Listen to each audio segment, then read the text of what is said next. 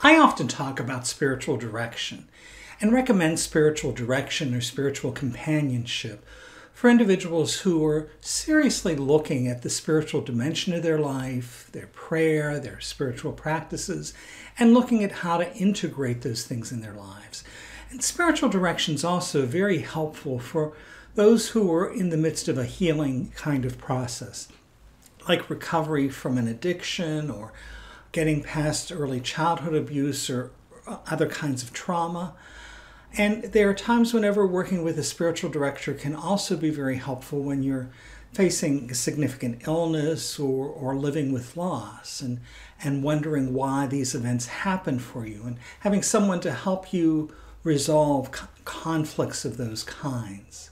So there are lots of reasons why people can work with a spiritual director and it can be very helpful for them.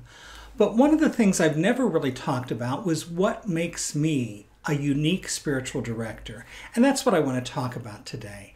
As I do, be sure to subscribe to this channel and click the bell so you're notified of future videos. So one of the ways I could I could talk about being a unique spiritual director is because of my training. You know, I, I have a master's degree in spirituality that included uh, training in spiritual direction, both with individuals and groups. Uh, it included coursework that was both in psychology and spirituality and, and reading lots of different spiritual masters. And so that was a unique qualification. Very few spiritual directors have a two year degree in the discipline.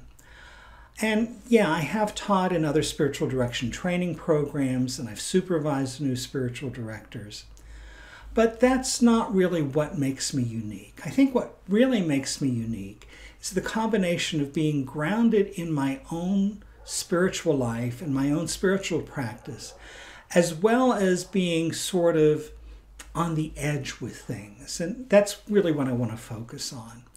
So, my own practice is very contemplative in nature. Yeah, it does draw a lot on, on traditional Christian contemplative spirituality, like I, I do pray the hours each day, and uh, I also do meditation and spiritual reading. But my experience isn't limited to Christianity. I'm not dogmatic about my beliefs. I've learned from a lot of other teachers and masters and really explored with them uh, the art of spirituality and what spirituality is within these various traditions. And so I have a different kind of perspective that I bring with me in spiritual direction. And part of what that means is that I don't fit in a box in terms of dogma or beliefs or systems. Instead, my focus is really on people's experience. What's happening for the individual? How is it that they're putting their life together and what does that mean?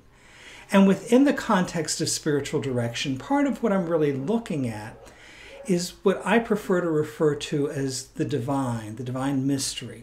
I don't like using terminology about God because God has certain connotations for us. You know, most people think of God as this male figure in the sky who controls things and manipulates things but that's not my experience. And again, I focus on experience. My experience is that there is this mystery that connects everything that's within me and all around me, and that there's something that is inspiring about it that is, in essence, divine. And I draw on that image, you know, from the teachings of Jesus who talks about the realm of God, the kingdom of God, the place of God being within us and among us, that it's already here. And so that's what I really focus on that there's something already here that's within us and among us and in life that evokes us to further growth, to further potential, to further wholeness. And experiencing that and exploring that is really what spiritual direction is about and how that comes together for us. You know, I've been doing spiritual direction online well before the pandemic. I started, uh, you know, with Skype and then eventually moved to Zoom like most people during the pandemic. But because I have done uh, virtual spiritual direction for many years, I've had the opportunity of working with people not only throughout North America, but also in Asia and Africa and Australia and many other parts of the world. And that's been really illuminating because people's paths are very different from my own. And I've appreciated being able to journey with them for some period of time. And in that, I've been able to, to connect with you know, and work with as a spiritual director people who were Buddhist monks and Christian clergy and you know other kinds of monastics and as well as people who were consider themselves spiritual but not religious or not part of any kind of path but trying to make an understanding of what spirituality is for them. Again my focus is on what an individual is experiencing. What is illuminating for them, what is helpful for them. And what I try to do is listen very carefully and tease out how they're able to put together these pieces of their life. So I really want you to consider what's important for you about your spiritual life. Not what definitions you put around it, but what's the experience? Where do you find hope? Where do you find healing? Where do you find goodness?